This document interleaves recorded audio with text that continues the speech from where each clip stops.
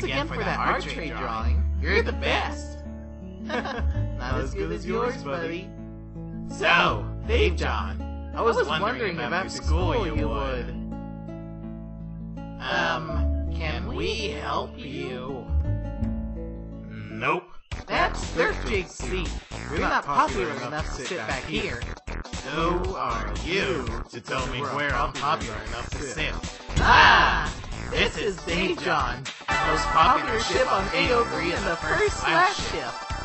And And this is JohnKat. He has a whole flashing cabin. It was adorable.